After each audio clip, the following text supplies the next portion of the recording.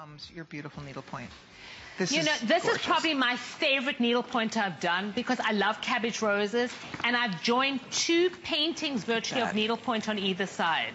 It's in a gros point, handmade needlepoint, and it's all done completely by hand Wow. in these giant cabbage roses. And then it's trimmed with embossed Wow. Italian croc. right. Look at would you lined in leopard. And it's the, you know, needlepoint, if- you know, you can't make a needlepoint by machine. Right. So you really are buying, how many people buy a painting and how many people see the painting? But when you Did you walk it's around like with a a month bag, to do this? one month each side. Each side. So you're looking at 60 days for one bag. God. All right, and then we also have the The crossbody. crossbody. Gosh, this is the cutest thing. Okay, so here's the crossbody. Look at needlepoint on one side, croco on the other side. So you can reverse it if you want to and wear it both ways. You have a black bag on one side and then that beautiful needlepoint. And again, I could make this longer. I could make it shorter. I just love that this clips right off, by the way. So it also is a little It's clutch. clutch, correct. Right? So isn't that beautiful? And that's 229. And again, look at that needlepoint. Have you ever, and look at how cute the bracelet would work back to this too.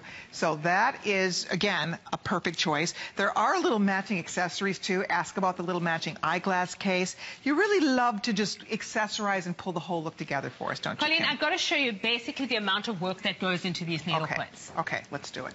Because look at that. She, as you, as Kim was describing for us, this is a month to make one side of the bag. A and month. they hand paint the canvas, they dye the yarn, and then it's done in a gros point needlepoint stitch, and it really is a labor of love. You're buying something that's an artwork that someone is so proud of. Mm-hmm. You know, we made these tables, and I'm really so happy. Ella and Bernice did such an amazing job on these tables. They look beautiful. And Okay. there's something about cabbage roses that, you know, we can't do that many needle points because it's a dying art. There's not many people that really want to do the needlepoint anymore. Yeah, it's so much work. It's so much work. And it's, you know, you're buying a bag. And a machine can't do this. No. So you're buying someone total love. And it's just, you know, it's a dying art form because Oh, even the gosh. needlepoint is a dying art form, you know.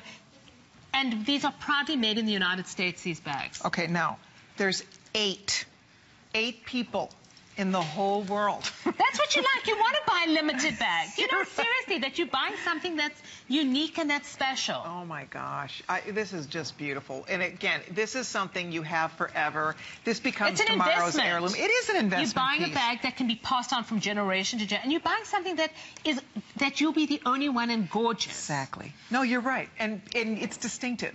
And people ask about It's it. It's a journey. If you buy something interesting, you never know who you're going to meet. Every time I carry one of your bags, I always have people ask. Yeah, you Where know did who you find meet, it? who you're gonna find- Exactly. yeah. It's fun. These are conversation starters. They're attention getters. My mum used to call it icebreakers. You know, because when you walk into a room, when you wear one of these bags, there is something amazing happens to you. I love it. Okay, we're calling this sold out. We're counting you.